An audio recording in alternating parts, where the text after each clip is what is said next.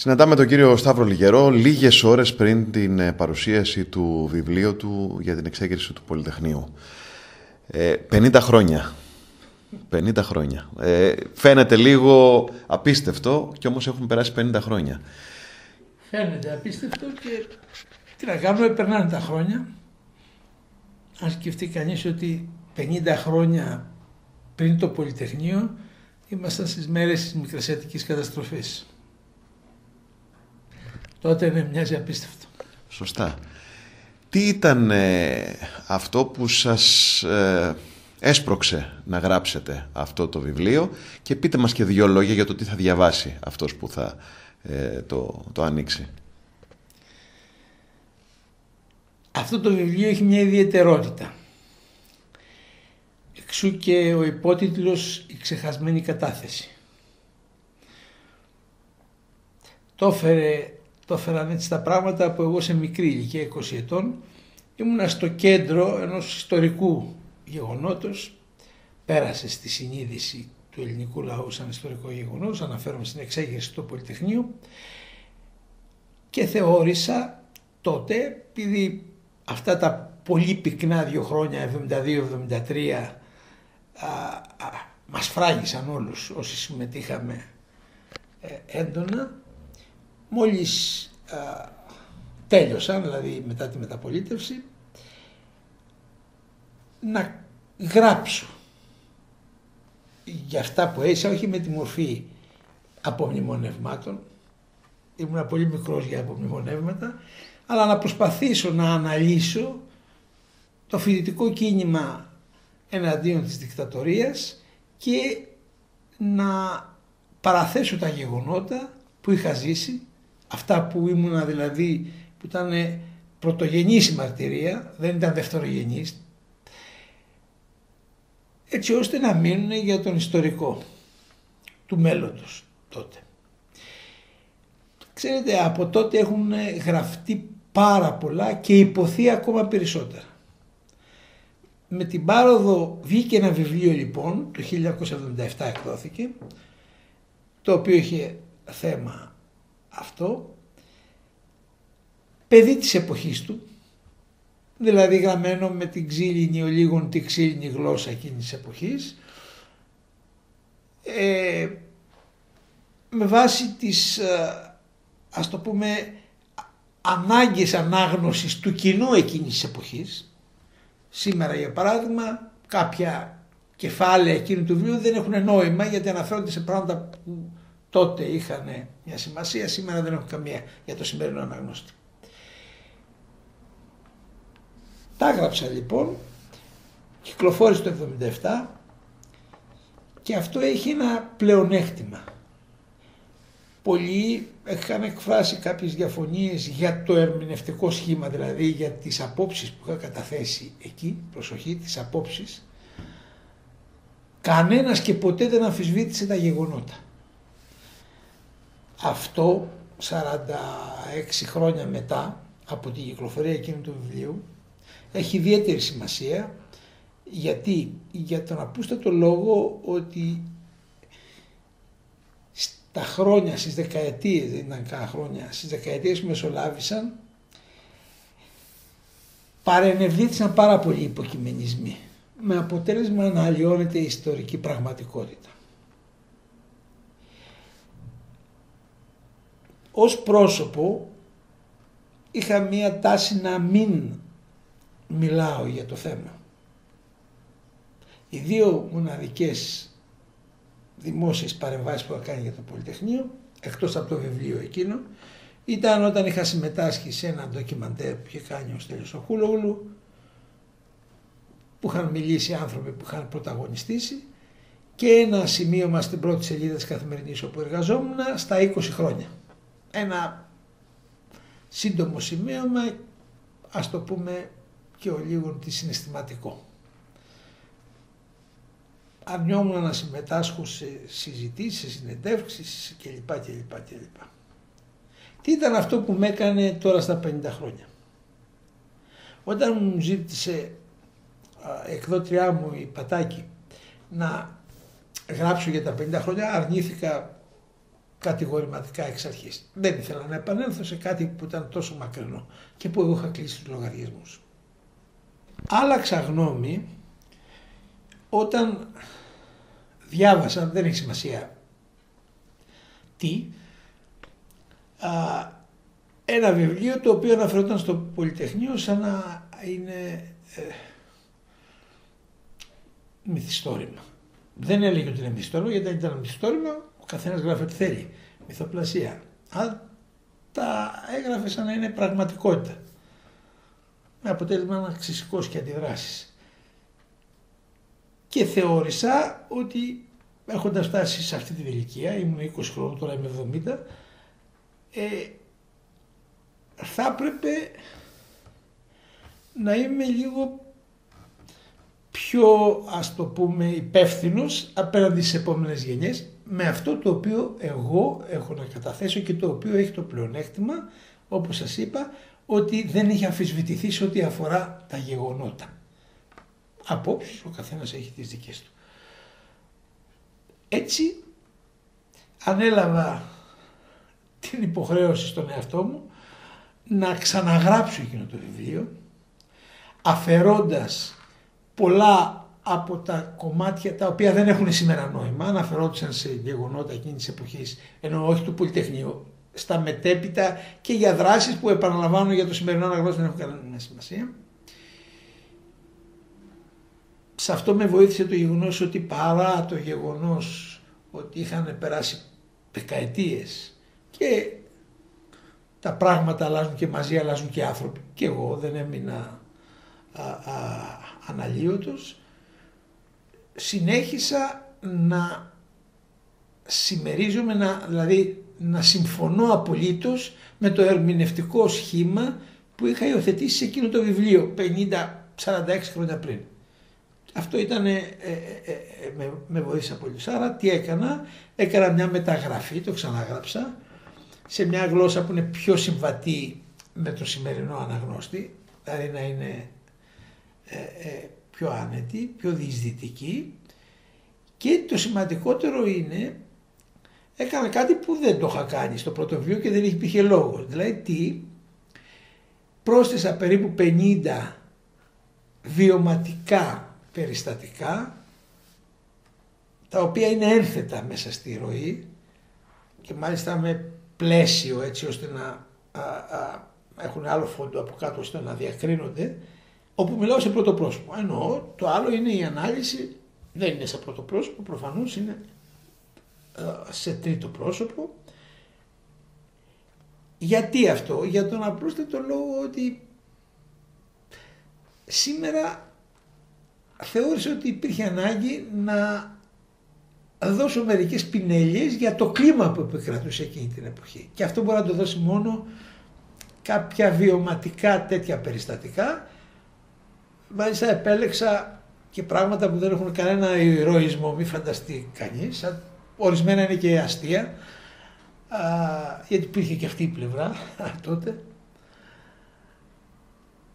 Και διαρθίζουν δηλαδή για το σημερινό αναγνώστη, γιατί εντάξει, αυτοί που συμμετείχαν τότε δεν έχουν ανάγκη τέτοια προστατικά, γιατί όλοι είχαν ζήσει κάτι παρόμοιο ή τέλος πάντων πολύ, αλλά για το σημερινό αναγνώστη και δεν εννοώ τον, τον νέο, τον 20, 25 μιλάω και για τον 50 ας πούμε, έτσι δεν είναι. Ναι.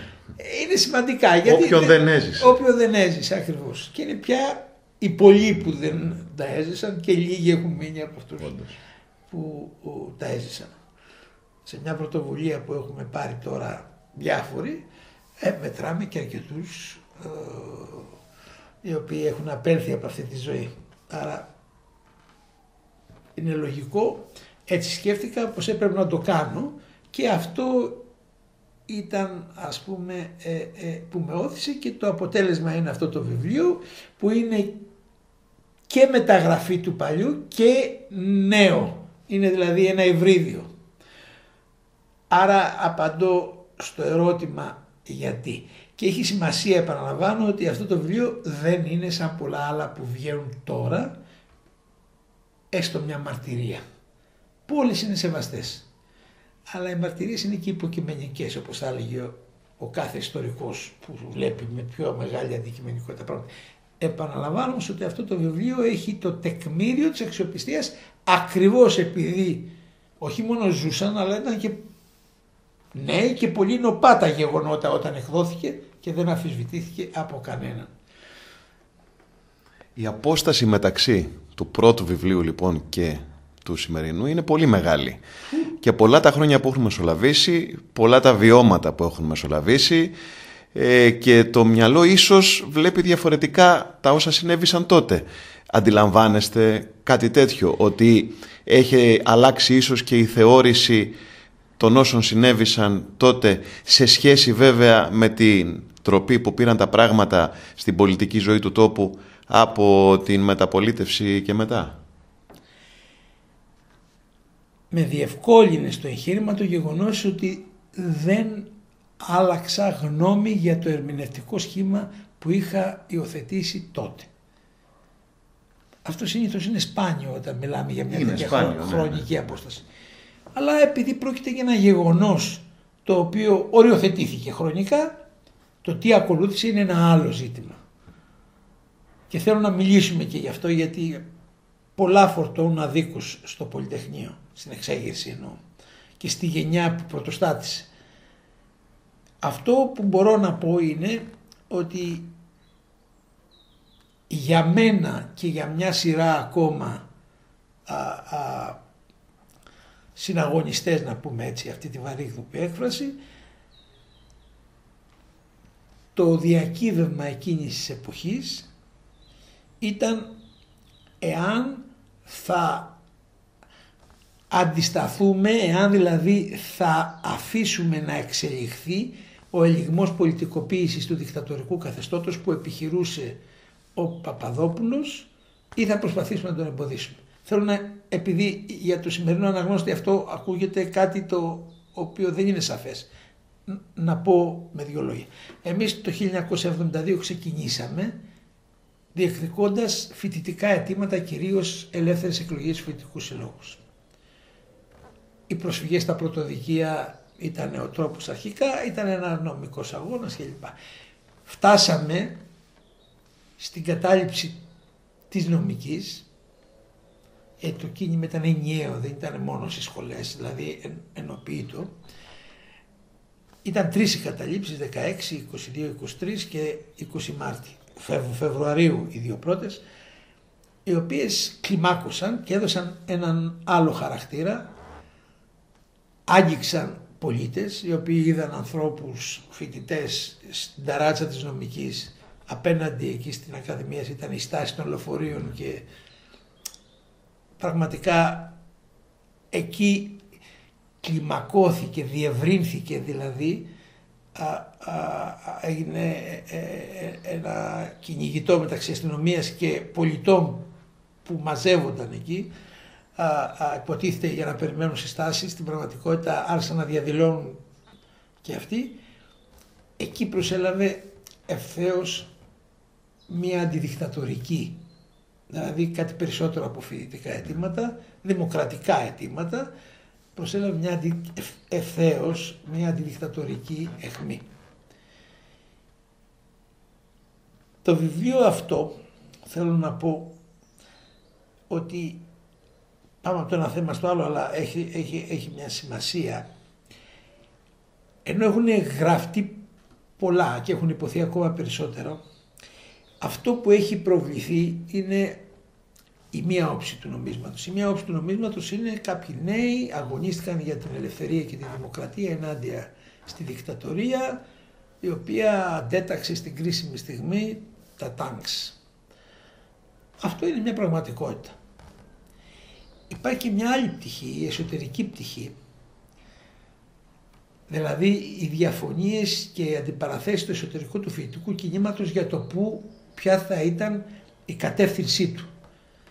Γι' αυτά υπάρχουν ελάχιστα γραπτά και συνήθως δεν λέγονται. Το βιβλίο και εκείνο και το τωρινό, το δικό μου εννοώ, ε, ασχολείται εκτενώς με αυτή τη διάσταση. Γιατί ναι μεν δεν μπορείς να πεις σε ένα παιδί το οποίο είναι 12 χρονών αυτή τη διάσταση μένει στην πρώτη, ας το πούμε, ε, στο πρώτο επίπεδο, αλλά για την ιστορία και για τον ιστορικό πρέπει να υποθεί και η άλλη. Γιατί πάντα υπάρχει και οι άλλοι σε όλους, ακόμα και στην Ελληνική Επανάσταση. Μιλάω για ένα κορυφαίο γεγονός. Είχαμε φίλιο πόλεμο. Έτσι. Θέλω να πω δηλαδή αυτό. Εμείς δεν είχαμε κάτι τέτοιο, αλλά υπήρχαν σκληρές αντιπαραθέσεις. Πιο συγκεκριμένα, μία πτέρυγα του φοιτητικού κινήματος. Αυτή ήταν η οργανωμένη στις φοιτητικές, στις παράνομες φοιτητικές οργανώσεις ε, του ΚΚΕ και του ΚΚΕ εσωτερικού κυρίως όχι γιατί η ψυχή τους το ήθελε, αλλά γιατί ήταν η γραμμή της καθοδήγησης, ήθελε να περιορίσουν το φοιτητικό κίνημα σε φοιτητικά αιτήματα. Η άλλη πτέρυγα, η ριζοσπαστική πτέρυγα, όπως την ονομάζω, οι οποίοι ήταν ανοργάνωτοι ε, ε, φοιτητές,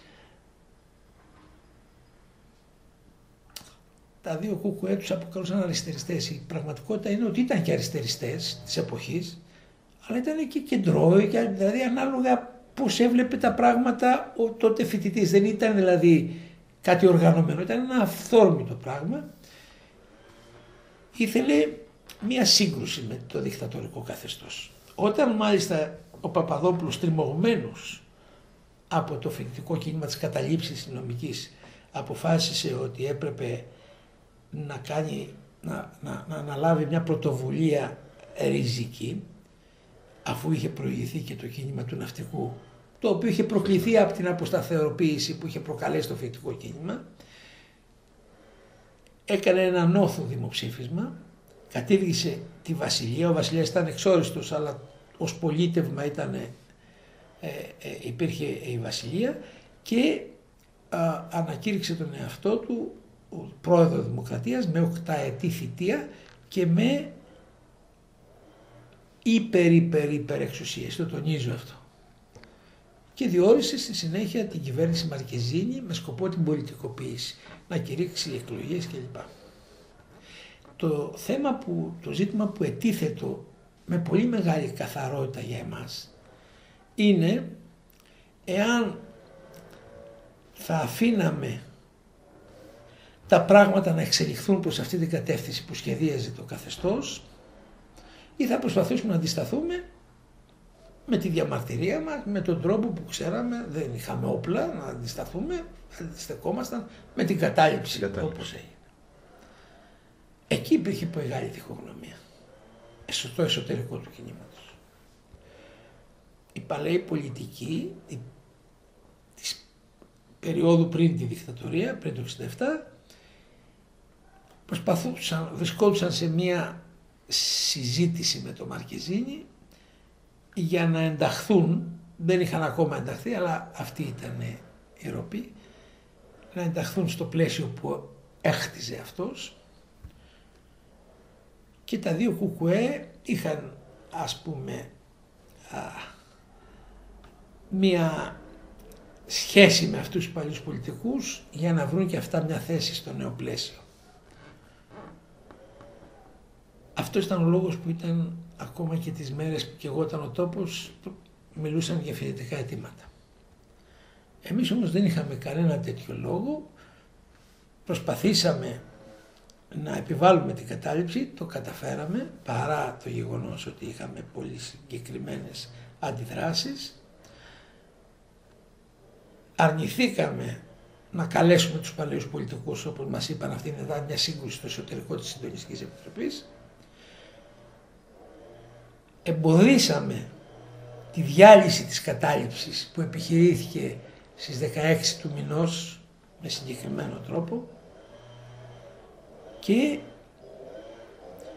αυτό υποχρέωσε το καθεστώς αφού είδε και απόειδε δεν μπορούσε να διαλυθεί η κατάληψη και να κρατηθεί αυτή, αυτό το πρόσημα της νομιμότητας που είχε μέχρι τότε να χρησιμοποιήσει τα μεγάλα μέσα, δηλαδή να κατεβάσει τα τάξη. Αυτή ήταν χοντρικά η ιστορία. Βεβαίως αυτό κόστησε νεκρούς, κόστησε μια πολύ πιο σκληρή δικτατορία, τη δικτατορία του καθεστώς Ιωαννίδη αλλά είχε μεσολαβήσει κάτι καταλυτικό. Η δικτατορία στηρίχτηκε και επιβίωσε για όλα αυτά τα χρόνια επειδή ένα πολύ μεγάλο κομμάτι της ελληνικής κοινωνίας την ανεχόταν. Κάποιοι την υποστήριξαν κιόλας, αλλά το μεγάλο κομμάτι την ανεχόταν. Μετά το Πολυτεχνείο και αφού είχαν κατέβει στο δρόμο πολίτες που μπορεί και μέχρι τότε να την ανέχονταν, απλά είχαν φτάσει στο όριό τους με αυτά που άκουγαν από το σταθμό και από την καταστολή, την αιματηρή που υπήρξε, απομονώθηκε πλήρως. Και ένα καθεστώς που απομονώνεται πλήρως και οι μόνοι που έχουν μείνει είναι όσοι είναι ταυτισμένοι, δηλαδή ελάχιστοι, είναι καταδικασμένο να καταρρεύσει κάποια στιγμή. Δυστυχώς κατάρρευσε αφού προκάλεσε την τραγωδία της Κύπρου. Είπατε κάτι για τη γενιά αυτή ε, και για την κριτική που έχει δεχτεί, που τη θεωρείται άδικη σε ένα βαθμό από ό,τι αντιλαμβάνομαι.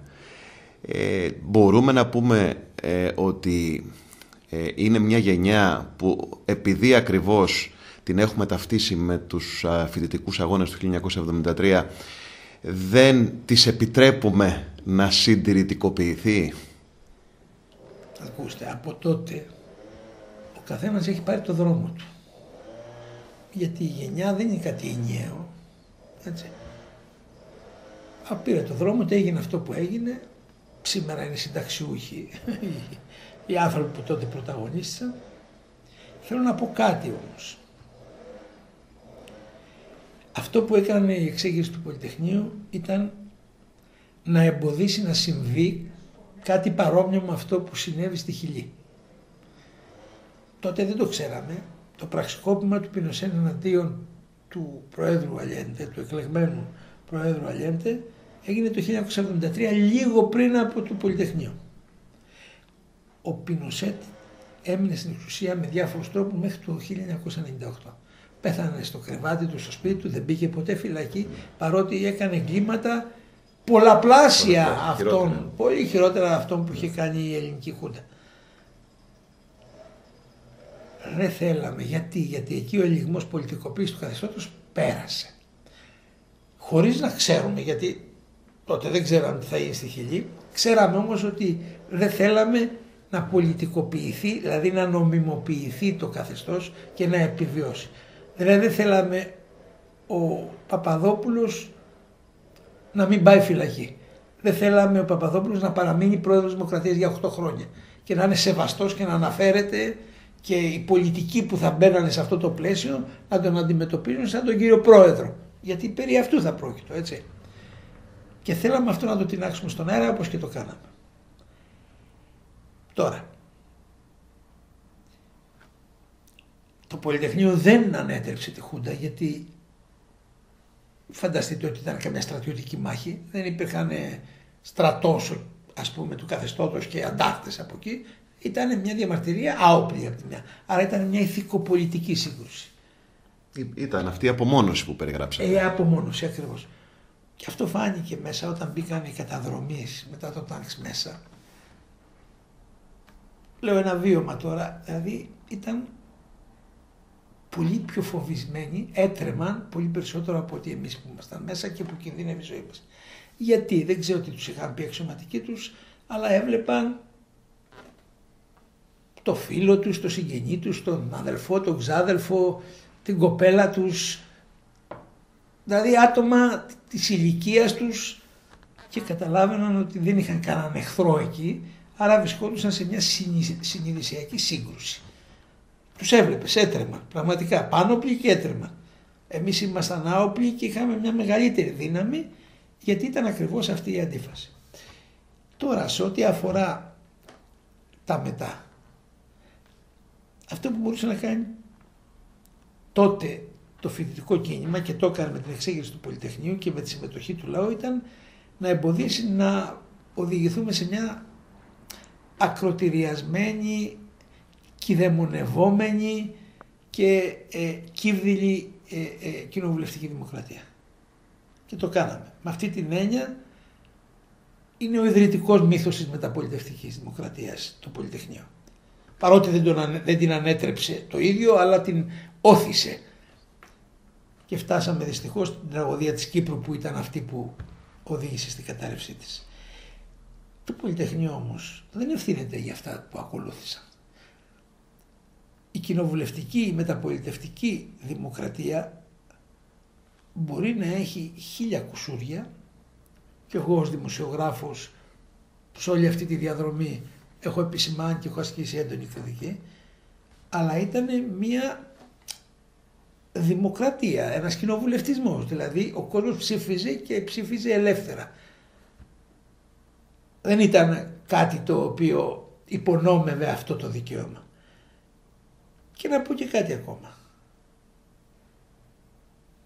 στην Ελλάδα υπάρχει πρωθυπουργοκεντρικό σύστημα, το ξέρουμε. Δηλαδή αυτός που καθορίζει χοντρικά είναι ε, ο πρωθυπουργός ο εκάστοτε. Για να δούμε. Βρέθηκε αυτή η γενιά στο τιμόνι. Να το δούμε γιατί λέμε, ξέρεις, έχει ευθύνη.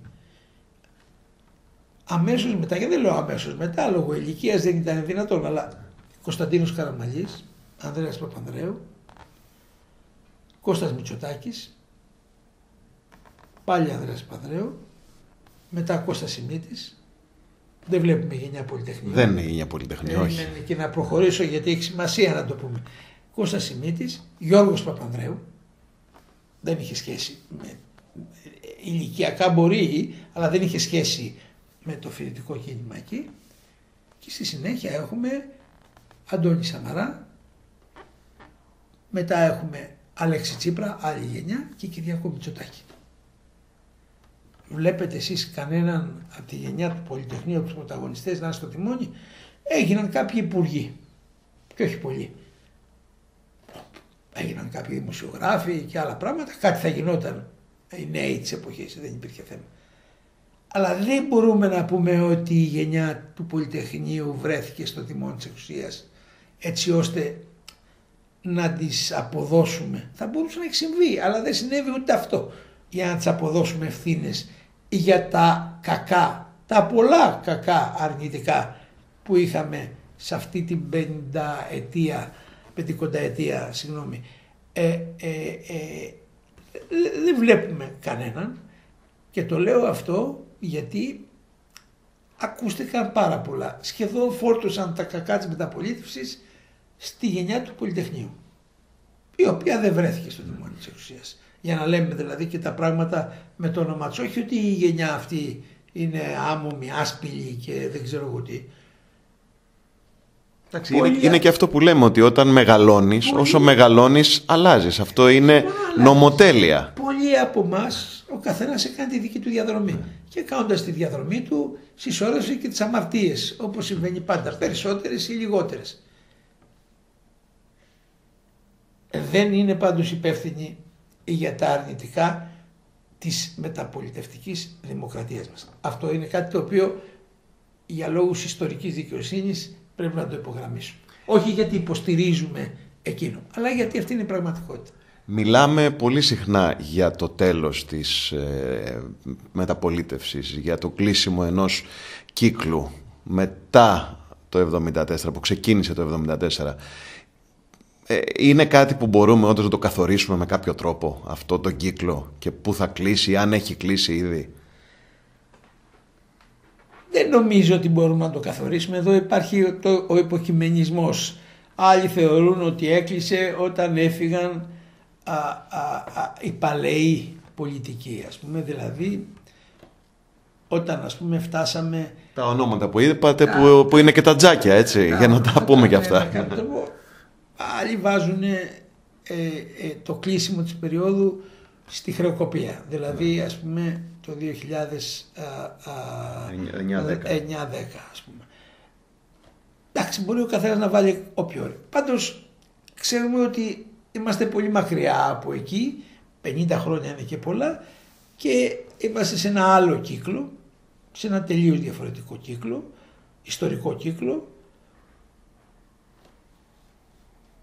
εάν μπορούμε να μιλήσουμε για το Πολυτεχνείο θα μιλήσουμε πια με όρους ιστορίας, δεν είναι κάτι το οποίο επηρεάζει όπως μπορεί να συνέβαινε τα πρώτα χρόνια μετά τη μεταπολίτευση τις ιδεολογικές και πολιτικές τοποθετήσεις των ενεργών πολιτών, όχι, με τον ίδιο τρόπο που δεν τους επηρεάζει και το όχι ας πούμε του 1940 και ακόμα παλαιότερα α, γεγονότα, ιστορικά γεγονότα.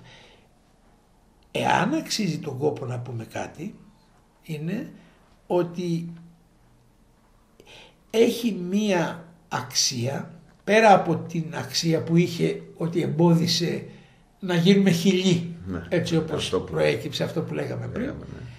ε, έχει ένα δίδαγμα που είναι ισχυρό για το 1973, για το 2023 και το 2223. Το δίδαγμα αυτό είναι ότι κάποιοι νέοι σε εκείνες τις συνθήκες έβαλαν μπροστά το συλλογικό. Όλοι θέλουμε την ευημερία, την καλοπέραση, το ιδιωτικό πάντα έχει τη θέση του, έτσι. Αλλά έβαλαν μπροστά το συλλογικό, κάποιες αξίες δηλαδή, που είχαν αναφορά στο συλλογικό. Κάποιοι νέοι εκείνη την εποχή, μην νομίζετε ότι ήταν και πολλοί, μερικές χιλιάδες ήταν. Δεν ήταν, ήταν μια μειονότητα μες στο φοιτητικό κόσμο. Απλώς ο φοιτητικός κόσμος μας είχε αγκαλιάσει με την έννοια, μας υποστήριζε. Δεν συμμετείχε. Για διάφορους λόγους, φόβου κυρίως, και φόβου, συμμετείχε ενεργά. Άρα κάποιες χιλιάδες ήταν που είχαν βάλει, είχαν αναλάβει το ρίσκο. Με ρίσκο λοιπόν έβαλαν μπροστά το συλλογικό, δηλαδή κάποιες αξίες που αναφέρονται στο συλλογικό. Την ελευθερία, τη δημοκρατία κλπ. Αυτό είναι ένα δίδαγμα που έχει διαχρονικότητα, δηλαδή έχει μια αξία πέρα και έξω από τις συγκεκριμένες συνθήκες ή από το συγκεκριμένο γεγονός. Γιατί είμαστε κοινωνία, δεν ζούμε ο καθένας μόνος του, γιατί υπάρχουν κάποιες αξίες οι οποίες, για τις οποίες αξίζει να αγωνιστείς, έστω και να λαμβάνοντας ρίσκα για τον εαυτό σου. Εμένα με διέγραψαν το πανεπιστήμιο, παράδειγμα. Και δεν ήξερα αν θα επιστρέψω. Επέστρεψα, με ξανάγραψαν μόνοι τους όταν έγινε μεταπόλευση, αλλά τότε δεν ξέραμε. Και πρέπει να πω και ένα προσωπικό βίωμα όταν ήμασταν απέναντι από τα τάγκς. Εμείς, εγώ το νιώθα και από ό,τι διαπίστωσα από συζητήσεις στη συνέχεια με άλλους, ένιωθαν ακριβώς το ίδιο. Ότι θα αφήσουμε τα κόκαλά μας εκεί. Ήταν μια υπερβολή που είχαμε, δεν μπορούσαν να μας σκοτώσουν όλους, ας πούμε, αλλά ήταν μια υπερβολή, αλλά το είχαμε αποδεχτεί με μια ηρεμία που τώρα πραγματικά με παραξενεύει. Πέρναγε από το μυαλό, είχατε να κάνετε με τη δικτατορία, με ένα καθεστώς ε, πανίσχυρο εκείνη την εποχή και σκληρό. Δεν το θεωρούσαμε δεδομένο, δηλαδή δεν πρόκειται να γλιτώσουμε από εκεί. Έτσι, έτσι, έτσι νιώθαμε. Ήταν υπερβολικό αυτό το αίσθημα, αλλά έτσι νιώθαμε. Εκείνη τη στιγμή και ήταν αποδεκτό. Δεν ήμασταν ήρωες. Φανταστεί κανείς γιατί τρέχεις αυτό. Είναι οι συνθήκες που σε κάνουν. Άνθρωποι ήμασταν και νέοι άνθρωποι που νιώθαμε και φόβο και το ξεπερνούσαμε το φόβο με έναν πολύ ας το πούμε έτσι φυσικό τρόπο. Λέω λοιπόν ότι αυτή η αξία του Πολυτεχνείου μην ξεχνάμε ότι το Πολυτεχνείο λειτουργήσε σαν κολυμβήθρα του Σιλοάμ. Διείσδησε μέσα στη συνείδηση του ελληνικού λαού και σήμερα 50 χρόνια μετά αντί να το ξεχνάμε το θυμόμαστε με μια ένταση δεν σημαίνει με πολλά γεγονότα αυτό. Γιατί.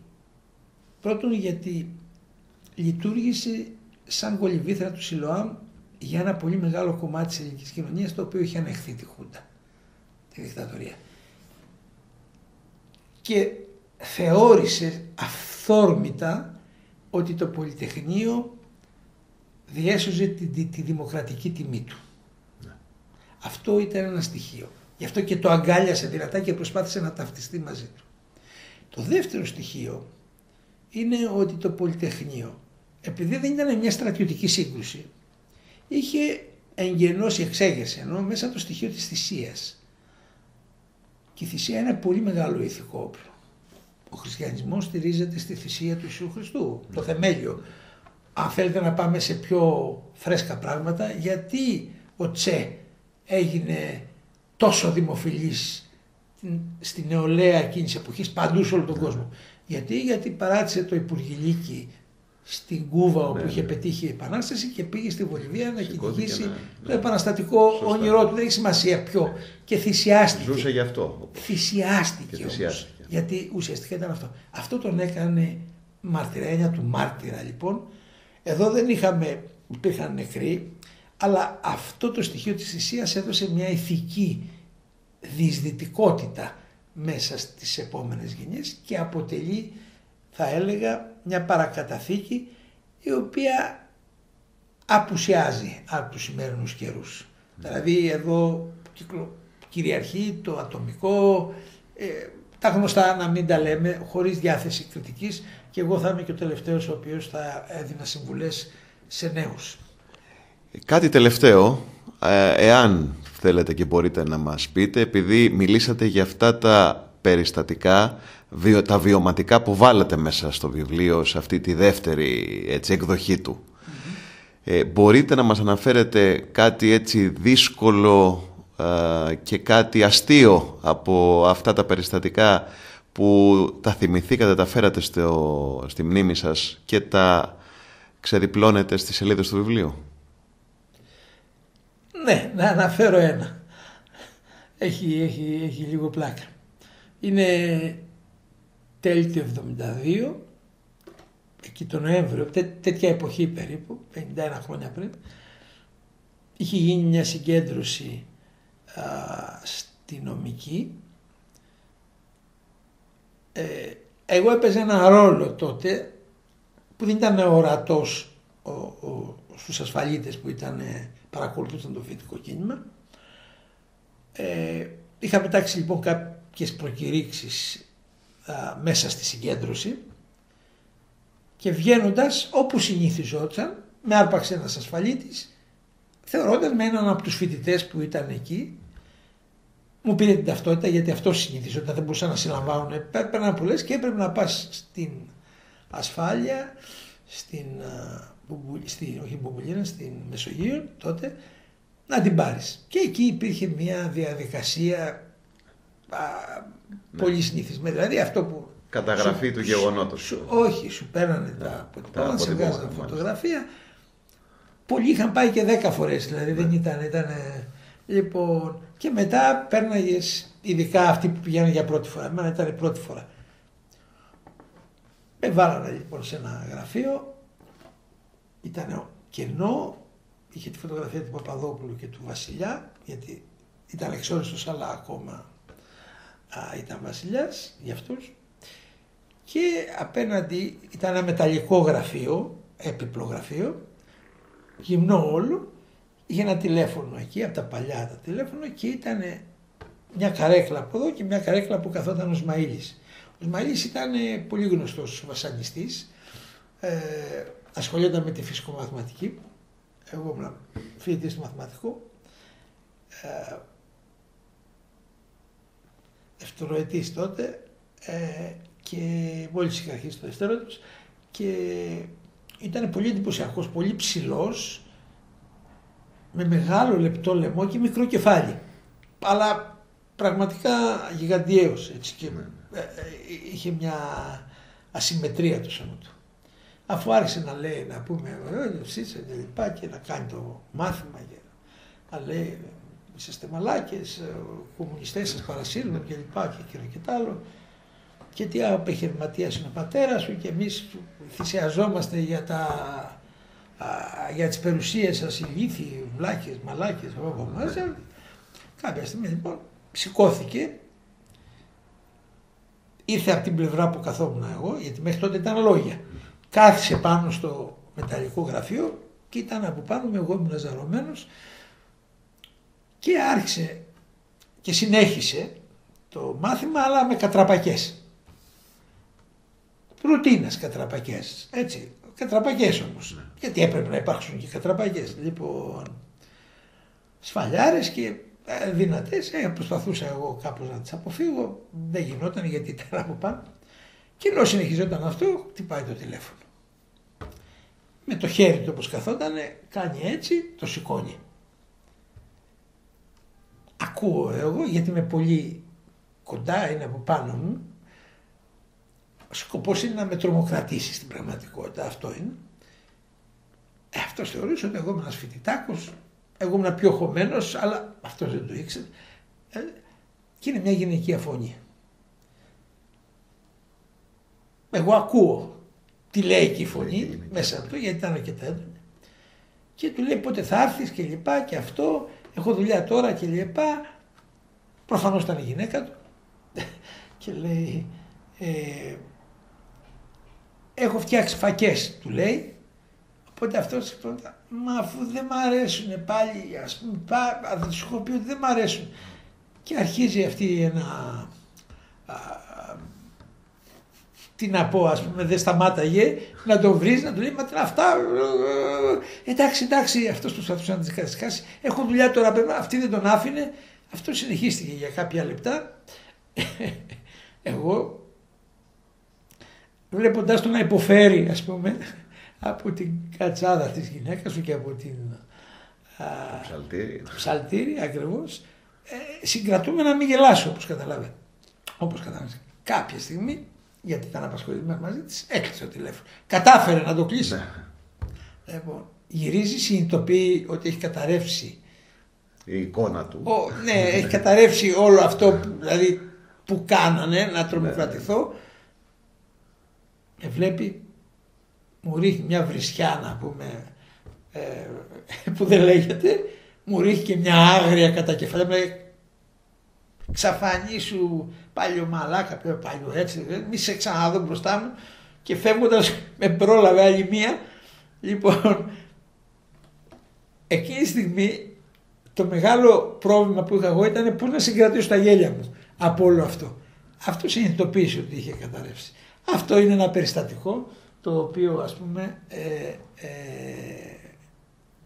καταγράφω. Ένα από τα 50 ας πούμε που μου ζήτησες το οποίο ήταν αστείο μέσα στην δραματικότητα που μπορεί να πει κανείς απολύτως αστείο.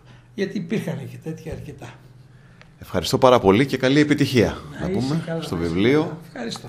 Και ελπίζω βέβαια. Ναι, το βιβλίο ξέρεις θα βρει την όποια θέση και την ναι. όποια κυκλοφορία, αλλά θα είναι και κάτι για τον ιστορικό πέρα από την κυκλοφορία και από το κοινό του αναγνωστού. Ευχαριστώ πολύ. Και εγώ, για χαρά.